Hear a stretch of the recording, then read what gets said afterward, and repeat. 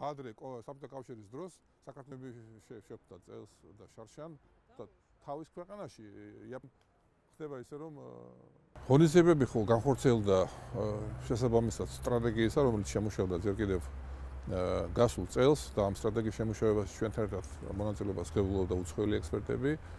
ну ძირითადი მიზანი სტრატეგიის იყო რომ შეგვენარჩუნებინა მოსავალი და ეკონომიკური განაკარგები 5-15%-ამდე დაგვეყვანა. თუ გადავავლებთ თვალს მთლიანად ღონისძიებებს, რომელიც სტარტდებოდა აპრილიდან ოქტომბრის ჩათვლით, შეიძლება შეფასდეს ძალიან დადებითად. დაახლოებით, დაახლოებით გამიმორებ 700000 გექტარი არის შეწამლული.